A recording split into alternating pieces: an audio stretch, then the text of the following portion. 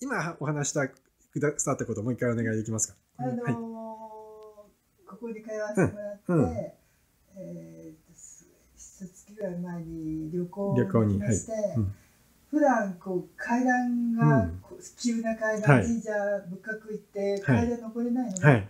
もうしっかり登れるようにあ、なって、はいはい。うん。帰ってこれるよううになったんですよ。んうんうん。それがそのそ今回行ったところが何箇所も階段とか、こう急なすごくあって、皆さんはもう途中で戻ってたんうんですけど、うん。私はもうそこを2箇所ぐらいうん上に上がってあ下がってこれるっていうのができたんですよ。え今までそんなことできなかったんですけえ。ど、うん。なんかこう体が違う。うんで、気力、気力も出てきたってことですよね。はい。